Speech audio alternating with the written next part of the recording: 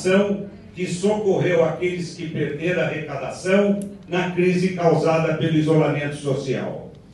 Disponibilizou bilhões de reais para que micro e pequenas empresas possam ter acesso ao crédito para recomeçar, gerar empregos, melhorar a renda e aquecer a economia. Até 2022, na infraestrutura, até 2022, na infraestrutura, iremos atingir a incrível marca de um trilhão de reais em investimentos contratados. Senhor presidente, temos a noção exata da nossa responsabilidade ao empunhar as bandeiras de sua obra à frente de um governo que nunca se intimidou. Este é o Brasil que também está sendo construído.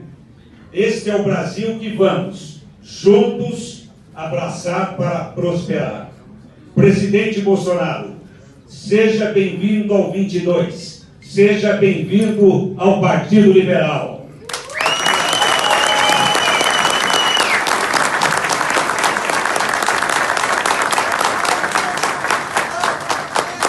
Senhoras e senhores,